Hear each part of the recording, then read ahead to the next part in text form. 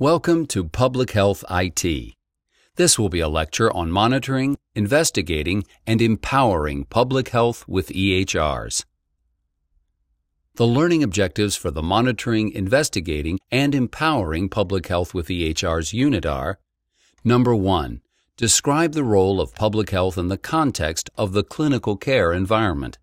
Number 2. Identify and describe the three essential public health services monitoring health, diagnosis, and investigation, and informing, educating, and empowering stakeholders. 3. Identify public health practice challenges in these service areas. 4. Identify opportunities for EHRs and health information exchanges, or HIEs, to address these challenges in syndromic surveillance, notifiable disease reporting, and public health case investigation. 5. Describe challenges and limitations of EHRs to address these service areas. In order to discuss the concept of public health enabled EHRs and the role of public health in health information exchange, HIE, we will briefly define public health and its main objectives. In Unit 1, an introduction to public health was outlined.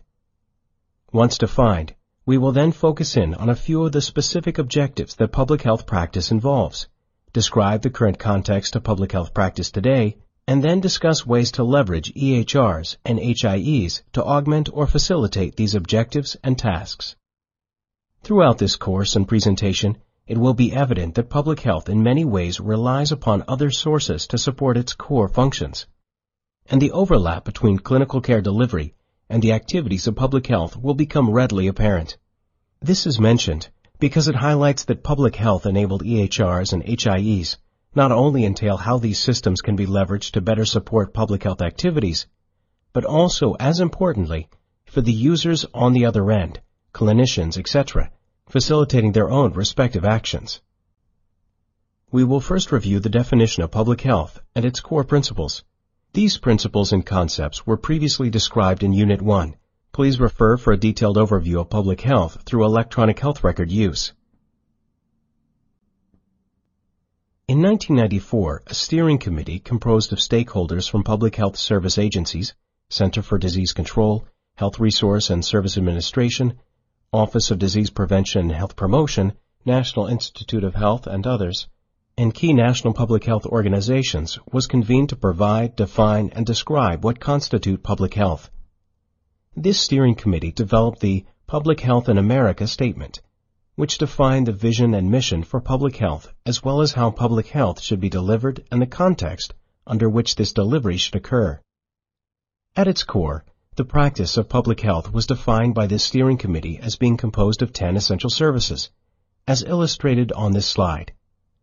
These 10 services fall under three primary categories assessment, policy development, and assurance, as originally defined by the 1988 Institute of Medicine report, The Future of Public Health. Much of the data public health uses to monitor health commonly originated from the delivery of clinical care. A classic example of this is communicable disease surveillance.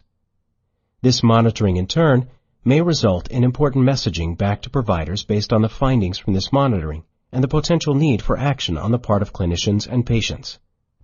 And as many public health campaigns are targeting at improving the health of individuals, which result in improved population health, quite often these campaigns and programs again often require the analysis of clinical data to measure the final outcomes.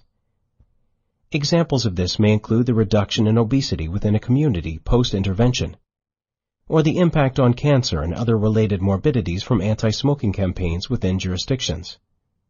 Health information technology, and EHRs in particular, hold great promise in facilitating many of these essential services. This is especially true with 1. Monitoring health, 2. Diagnosing and investigating community health problems, 3. Informing slash educating slash empowering people about health issues, and 4. Evaluation of health services. During this course, you will learn about specific examples of how EHRs and HIT have been leveraged to improve performance and delivery of these essential services. As many new providers prepare to adopt and meaningfully use EHRs based on federal stimulus incentives, public health agencies have a great opportunity to leverage this to significantly improve performance in these areas. We will now move on to describing the role for public health enabled electronic health records, EHR, and health information exchange as it relates to monitoring health. We will begin by examining notifiable disease reporting. Monitoring health is one of the foundations for the practice of public health. Without an understanding of the population health problems that exist, one cannot reasonably or efficiently implement programs intended to improve those problems. One of the core public health services performed at all levels of government, local, state, federal, is communicable disease surveillance. Communicable disease surveillance is necessary to monitor the natural course of communicable illness in communities and to detect when significant changes occur that could signify an emerging disease outbreak, change in the epidemiology of these conditions, etc. The image on this slide is from the New York City Department of Health and Mental Hygiene, which defines all the conditions within New York City where providers are mandated to report new instances of these conditions to the health department. In some instances of monitoring health, surveillance and subsequent investigation can lead to identification of new diseases in a community. One good example of this is in the investigation that led to the discovery of West Nile virus in New York City. Public health agencies rely on medical providers to report new cases of communicable disease, and in some jurisdictions have further incorporated laboratories to report new instances of communicable disease. While laboratory mandated reporting has been helpful in improving the reporting of new communicable diseases, laboratories generally lack important clinical and demographic information that providers can typically only provide. This data is necessary to track whether proper treatment is being administered. As well, enable detailed analysis to identify changes in the epidemiology of these conditions. In other words, are certain age groups, gender, race, ethnicities being affected more than others? Are there risk factors that may contribute to incidence, etc.? The figure on this slide is one page from the New York City Department of Health and Mental Hygiene's Universal Reporting Form, which can be used by providers to report new cases of communicable disease. Despite the importance of provider disease reporting, provider reporting has been noted to be suboptimal from many prior studies. This has been attributed to various factors, including lack of knowledge or reporting requirements, time constraints, etc. This is particularly exacerbated by the limited resources found within small practices, where there may be no dedicated infection control practitioner who can be made responsible for reporting these conditions. In small practices, staff members often serve in multiple roles, and thus may be unable to adequately dedicate their time or attention to this reporting. And while legal mandates have been instituted to ensure proper reporting, they have not made an impact on improving these rates. As providers increasingly adopt EHR systems, public health agencies have an opportunity to leverage these systems to improving the state of provider reporting. One area EHRs can be leveraged to improve is in the area of provider awareness. Systems can prompt or alert providers of the need to report conditions when predefined criteria are met consistent with a reportable condition. These criteria may include a mix of diagnosis codes, such as ICD-9-CM and ICD-10-CM, laboratory results, and symptoms. One of the gaps currently is that there are no nationally recognized lists of criteria to define reportable conditions for use in EHR systems. However, CSTE is leading efforts to develop such a list. EHRs can not only improve provider awareness of reporting requirements, EHRs can also provide pre-populated reporting forms that reduce the burden of reporting. This is achieved by filling in key demographic data on the patient and provider that are included on communicable disease reports. EHRs commonly store this information in a structured manner. This enables the provider to focus on reporting associated clinical data and treatment information that typically cannot be readily abstracted from an EHR system.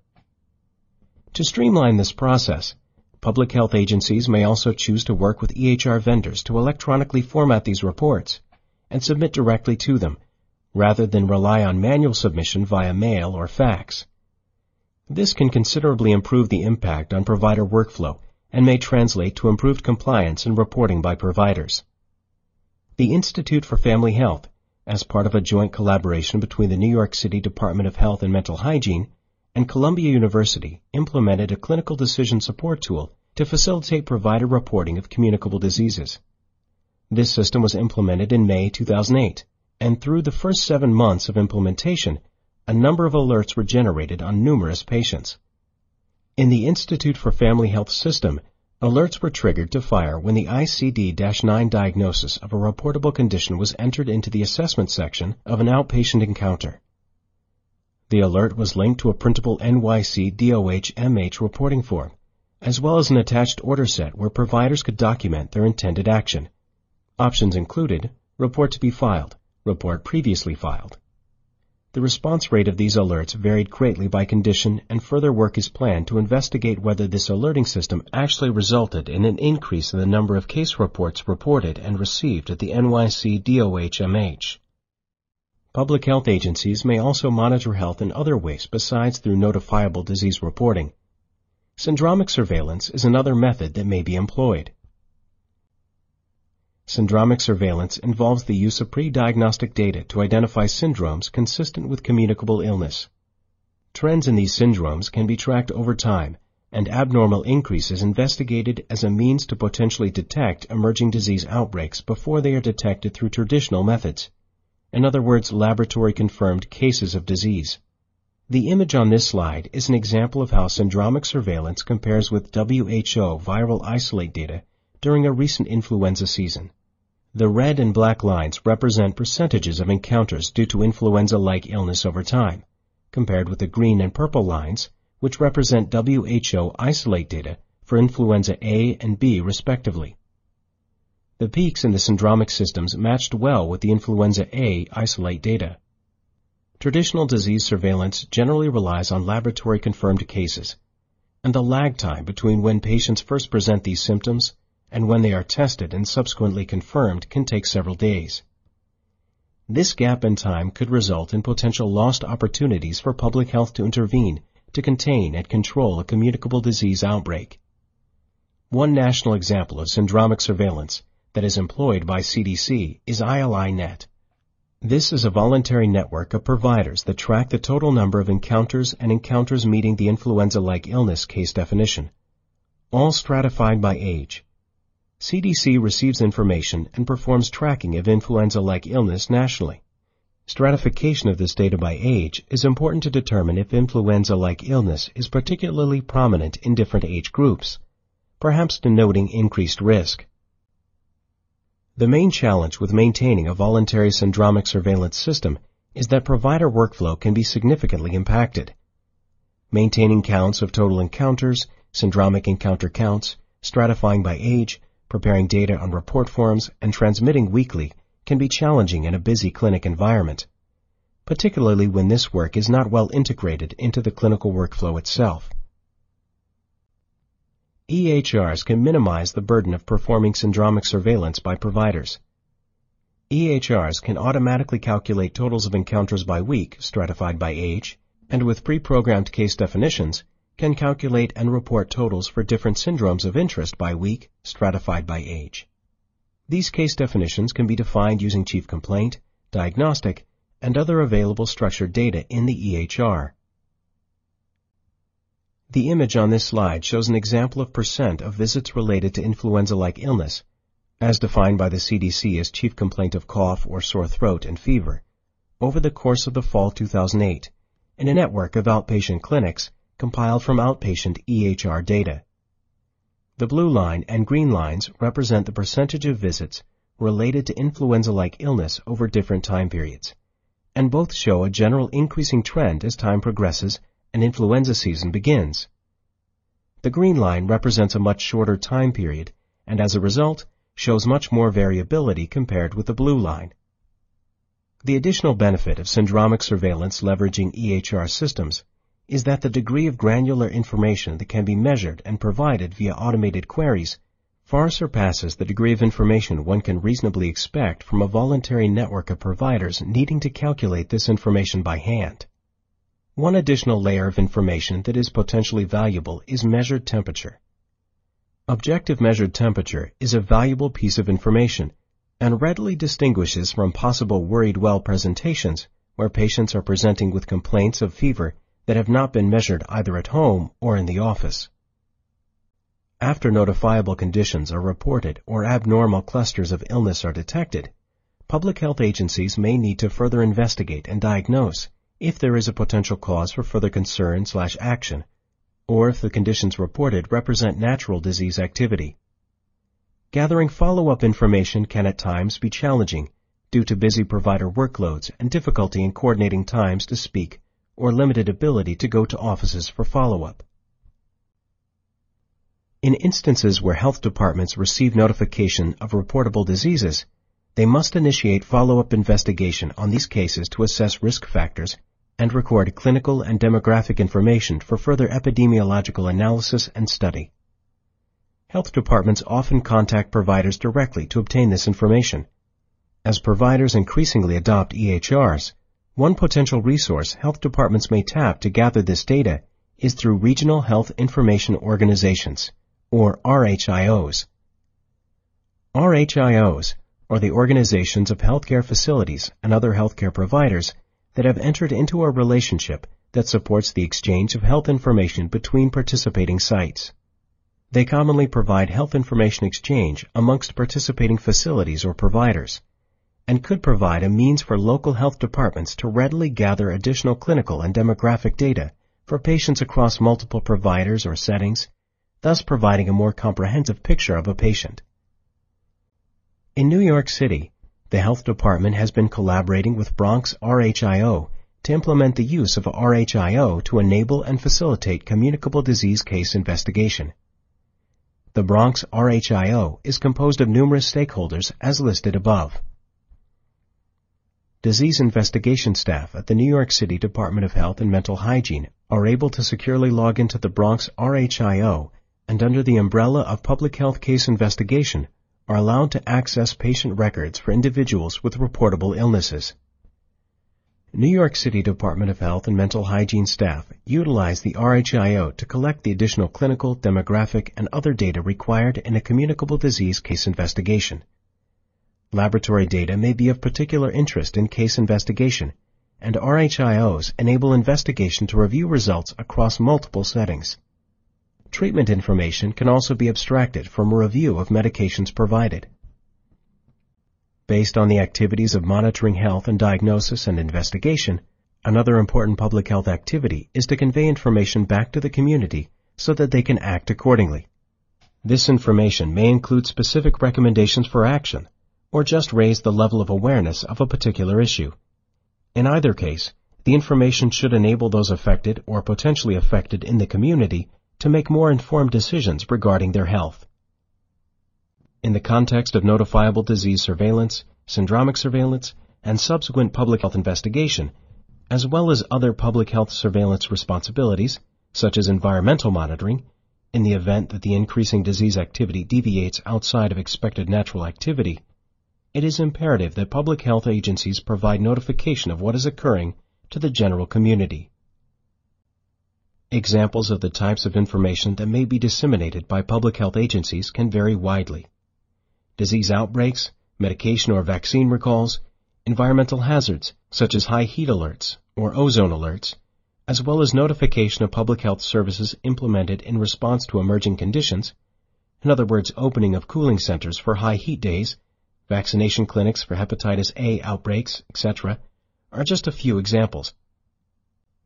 In order to disseminate these messages, public health agencies may rely on different methods, such as the Health Alert Network, publication in the Morbidity and Mortality Weekly Report, and other peer-reviewed literature, and mass media messaging, TV, radio, internet. For providers in the medical community, the challenge in integrating this information is that it is generally not integrated into their clinical workflow.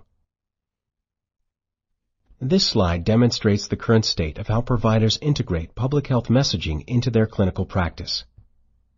The slide starts at step 1 by showing that health departments receive information from medical providers on communicable diseases and syndromic surveillance, and based on analysis, may detect abnormal activities representing a disease outbreak. This information is then sent out via the Health Alert Network, Step 2. The provider then consumes this information. However, since this information is often consumed outside of the provider workflow, For example, it is read in the morning in the provider's email box or viewed on a website. The provider must then be able to recall this information and apply it to the relevant encounters he or she will see in his or her practice. The challenge is when the temporal gap between message and application is large, and also when the details of the message are more complex. As providers increasingly adopt EHRs, the role of public health enabled EHRs to help improve public health messaging to medical providers becomes apparent. EHRs are capable of delivering clinical decision support, or CDSS, to providers at the point of care.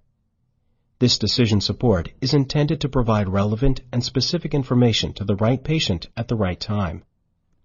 By leveraging CDSS to deliver these types of public health messages, the current challenges in effective messaging of public health alerts and information are mitigated. One specific example of the use of CDSS to deliver public health information is in an alert implemented at the Institute of Family Health for a cluster of measles cases detected in Brooklyn in February 2008. The alert informed providers on cases of measles that were identified in Brooklyn and suspected to potentially be the result of ongoing transmission between non-immune persons in the city. The alert then instructed providers to have heightened awareness for measles in patients presenting with rash and fever. In addition, it provided instructions on how to receive rapid diagnostic testing from the NYC Public Health Laboratory as commercial testing would likely take several days to receive confirmation. The slide illustrates that the alert was triggered in 198 encounters, and that the alert was acknowledged by providers and reviewed in detail in four encounters, which translated to 2% overall. The alerts were designed to trigger on chief complaints of fever and rash. This alert particularly highlights the value of incorporating alerts into EHRs as confirmation of measles cases using commercial testing would result in delays that could result in lost opportunities to vaccinate susceptible contacts. This slide demonstrates another example of a CDSS alert created by the Institute for Family Health and configured on a Health Alert Network message distributed by the New York City Department of Health and Mental Hygiene about the increase in Legionnaire's disease within the Parkchester section of the Bronx, New York. The alert was designed to trigger in patients presenting with chief complaints consistent with respiratory illness, fever, cough, chest pain, chest congestion, cold symptoms, and was designed only to trigger within a clinic found within the geographic area where Legionnaire's disease was on the rise. The alert was triggered on 142 patient encounters, with the alert being acknowledged in 5 patients, 4% overall. No cases of Legionella were detected. One thing of interest that was noted was that providers ordered Legionella urinary antigen testing for two patients. This test had never been ordered by providers at the Institute for Family Health, and it is possible that the increased awareness for Legionnaire's disease due to this alert may have led to the ordering of these tests. This slide shows one last example of a CDSS alert created by the Institute for Family Health based on an outbreak associated with contaminated ground hamburger meat in 2007. The alert was triggered by a chief complaint of diarrhea or stomachache, or if the treating provider entered any one of the three gastroenteritis variants, one of the four diarrhea variants, or melena slash bloody stool into the diagnosis section of the chart. The alert was triggered on 287 patients and was acknowledged in 65 patients, 23% overall. For providers who acknowledged the alert, they were provided with a linked order set that included orders for a Shiga toxin assay, along with routine stool culture. What is also highlighted by this example is that the alert itself provide opportunity to guide appropriate treatment. Within the messaging section, providers were reminded that the only current treatment of EHEC infection is supportive, with monitoring for the development of microangiopathic complications such as HUS antiperistaltic agents increase the risk of systemic complications. Antibiotic therapy has no established effect on the duration of acute diarrhea. This graph demonstrates some preliminary data on the effect the E. coli alerts had on testing for diarrheal illness. The week corresponding to the implementation of the CDSS alert, as marked by the red arrow, was associated with the greatest total increase in the number of tests ordered for the entire year. The number of diarrheal encounters as represented by the thin blue line was around a baseline level. This preliminary data is noteworthy, as other survey data previously reported found that providers were less likely to order diagnostic testing on patients for diarrheal illness potentially associated with a communicable disease outbreak. This slide illustrates how EHRs overall can change the way providers are informed of emerging public health issues. Rather than having to consume information outside of their clinical workflows and recall this information at a later time, EHRs can bring this information to the point of care in a contextually relevant manner. Our recent experiences in implementing these alerts found the following limitations in utilizing this approach. First, implementing public health alerts into EHRs must provide significant value added to clinical care, as the relative value of all alerts may decrease as providers encounter more and more alerts within their clinical workflow. The end result is potential alert fatigue, where providers may no longer pay adequate heed to clinical decision support alerts due to inundation. Second, at present, there exists no ready means by which public health agencies can configure public health related decision support alerts that can be consumed and readily implemented by different EHR vendors. This limits scalability of this approach and the potential reach of the value these alerts can provide. Third, as demonstrated by the relatively low acknowledgement rate of these alerts, it is important that public health agencies carefully define the criteria, the triggering criteria for these types of public health alerts. While the primary goal of issuing public health alerts is to raise general awareness of an existing public health issue, the potential untoward consequences of this approach through EHR delivery of these messages must be appreciated to ensure that the overall value of these alerts remains high while carefully balancing this with the valid concerns over alert fatigue. In conclusion, amongst the many different essential services that comprise public health, three of these services particularly rely on strong linkages with the clinical community for both data provision and appropriate action. These three areas are monitoring health, investigation and diagnosis of health problems, and the informing and educating of appropriate response to these problems. As public health practice is generally resource limited, and as providers continue to have limited resources to commit to public health activities within their own clinical practices, identifying ways in which to support these activities through public health enabled EHRs and health information exchanges will ensure that public health practice can leverage technology to improve and manage public health. Ways in which to support these activities through public health enabled EHRs and health information exchanges will ensure that public health practice can leverage technology to improve and manage public health.